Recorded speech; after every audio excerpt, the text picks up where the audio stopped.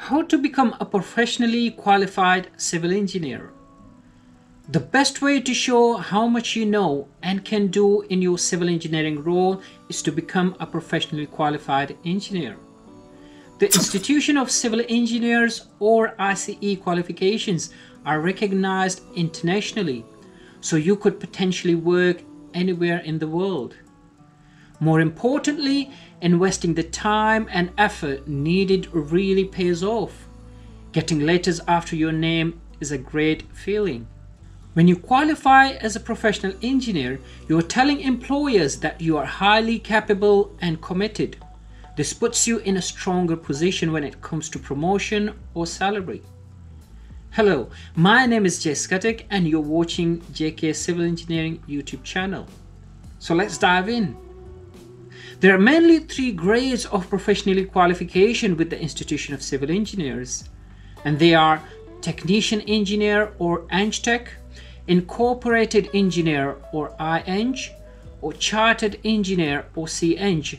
There's a fourth one, Fellowship grade, the highest grade with the ICE, which is not covered in this video. The ICE professional qualifications can be achieved primarily in three stages, and this includes your academic qualification, your work experience, and passing your professional review. Let's discuss each stage in more details.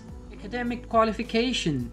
To become a technician engineer or EngTech, you will need an approved level 3 diploma or a foundation degree. Achieving an EngTech qualification shows your competence as a technician engineer and your commitment to professional standards.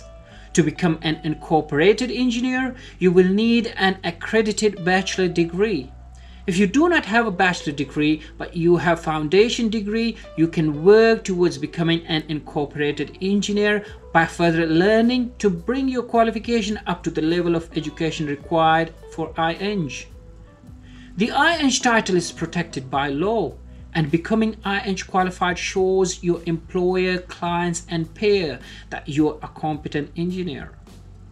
To become a chartered engineer or CEng, you will need an accredited four-year integrated MEng degree or a bachelor degree plus an accredited master's degree.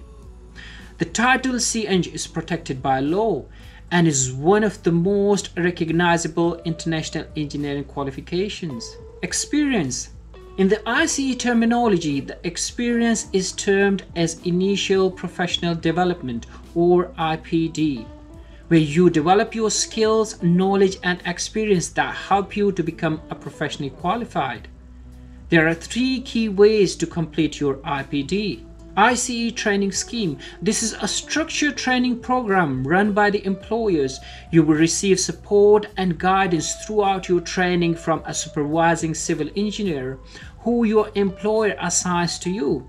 This is a highly recommended method to complete your IPD mentor supported training.